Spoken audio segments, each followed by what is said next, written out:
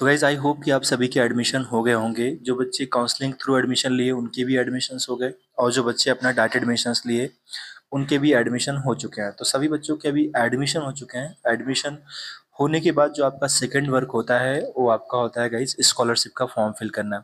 I hope कि बहुत सारे बच्चों ने स्कॉलरशिप के फॉर्म्स फिल कर दिए होंगे, लेकिन बहुत सारे बच्चे ऐसे होंगे जिनका स्कॉलरशिप का फॉर्म अभी फिल नहीं किया गया होगा। क्योंकि जो बच्चे डायरेक्ट एडमिशन लिए होंगे, वो अभी तक स्कॉलरशिप के फॉर्म नहीं फिल किए होंगे, ऐसा हो सकता है। तो उसके लिए कुछ डॉक्यूमेंट्स की नीड होती है और क्या है आपके लास्ट डेट वो सारी चीज़ें आज के इस वीडियो में बताएँगे। लेकिन उसके पहले जान लीजिए, जो बच्चे डाटा एडमिशन लिए हैं, उनका भी स्कॉलरशिप आता है।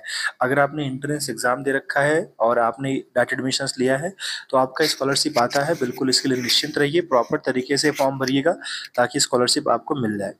तो गाइज़ आइए बात कर लेते हैं एप्लीकेशन कब से स्टार्ट हुआ, क्या है इसकी लास्ट डेट और क्या क्या आपको चाहिए डॉक्यूमेंट्स।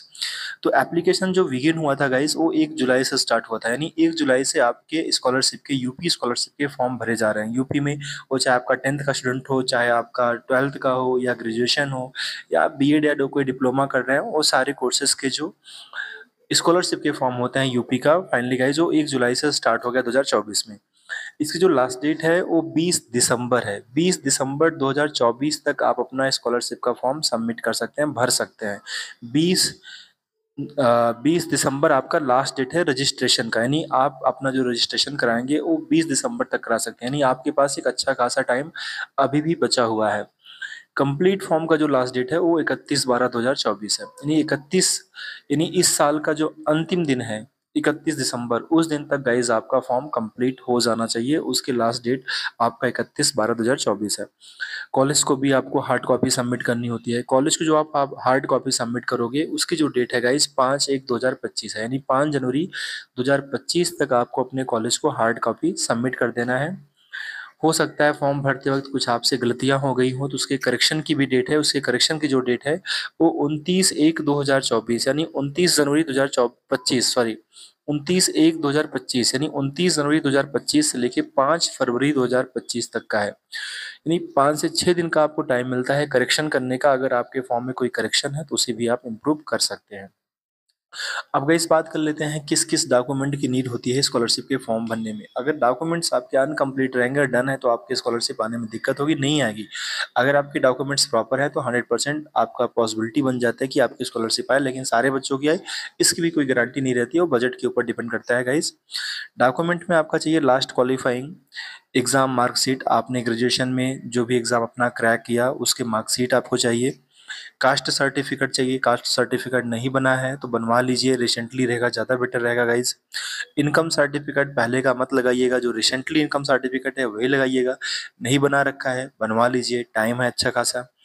बैंक पासबुक वही दीजिएगा बैंक पासबुक जिसमें आधार कार्ड लिंक हो, वैसे सभी लोग आधार लिंक कराते हैं, आजकल कंपलसरी हो गया है। लेकिन फिर भी मैं आपको बता रहा हूँ, जिसमें आधार कार्ड लिंक है, उसी बैंक का पासबुक आपको सबमिट करना है। फ़ी रिसिप्ट नंबर आपने अपना एडमिशन लिया होगा, आपने फ़ी जमा किया है तो फ़ी रिसिप्ट नंबर चाहिए आपको। एनुअल नॉन रिफंडेबल अमाउंट क्या है? इनरोलमेंट नंबर आपको लिखना है, आधार कार्ड का नंबर लिखना है, और लेटेस्ट पासपोर्ट की साइज़ की एक फ़ोटो होनी चाहिए। ये आपके डॉक्यूमेंट्स हैं जो स्कॉलरशिप भरते वक्त आपको लगेंगे।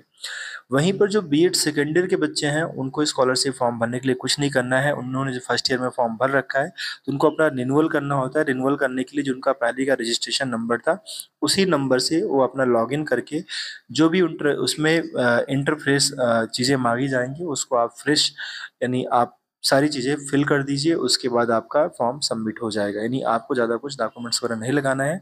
आपका रिन्यूअल है तो आपको रिन्यूअल करने के लिए जो आपका पहले का रजिस्ट्रेशन नंबर था, उसी नंबर से आपको लॉगिन करना है। लॉगिन करने के बाद उसमें जो डिटेल्स मांगे जाएँगे, उसको आप अच्छे से फिल कर दीजिए।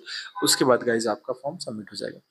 तो ये आपकी स्कॉलरशिप की डिटेल्स रही। आई होप कि आप सभी को क्लियर हो गया होगा। स्कॉलरशिप को लेकर आगे जो अपडेट्स आते रहेंगे गाइज़ हम आपको अपने बताते रहेंगे चैनल पर अगर आप इस चैनल पर पहली बार विज़िट किए हैं तो और आप चाहते हैं यहाँ जुड़े रहना तो आप इसे सब्सक्राइब कर लेना, क्योंकि जितने ऑथेंटिक इन्फॉर्मेशन होंगे, वो सारी इन्फॉर्मेशन यहाँ देते हैं। साथ ही साथ आपकी बी की क्लासेस भी रन करने वाले हैं। जल्दी ही हम आपका कोर्स लॉन्च कर रहे हैं। थैंक यू वेरी जय हिंद